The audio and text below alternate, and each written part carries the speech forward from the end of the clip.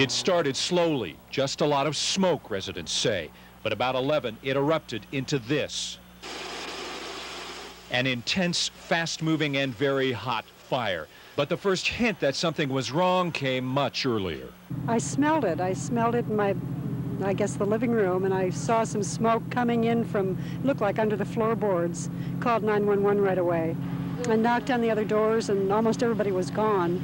Uh, gal was there under in the apartment underneath mine, and she, you know, just the two of us there. It was initially just started with smoke. And it, it didn't start having a fire, um, flames till about 11 o'clock.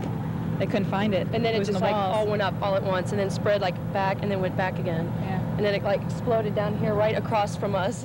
But even when the residents were out, there was still another fear. A number of pets locked in these apartments, helpless. But the first thing we did was get the pets out, but they got upset with us and getting pets out. They wanted to concentrate on the fire. Oh, yeah. And I didn't know half the people had pets, and I didn't even know they had pets. Uh-huh. All of the animals were rescued. The cause of the fire has been traced to a short in a laundry room fan.